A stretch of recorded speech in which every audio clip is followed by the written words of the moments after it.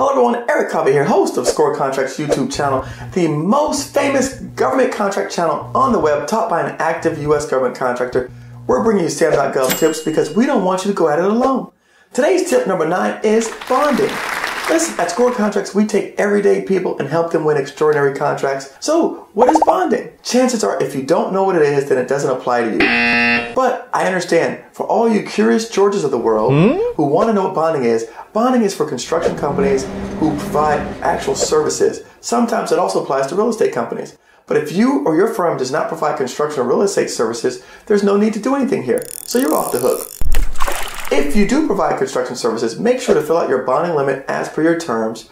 Or if you're new to the business, just leave it blank. It's not a mandatory field, so feel free to skip it. It will not hurt your award chances in the future of doing business with a federal agency.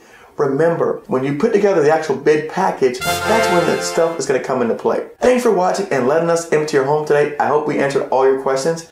If this tip helped you, please make sure to leave a comment in the section below. Until next time, we'll see you.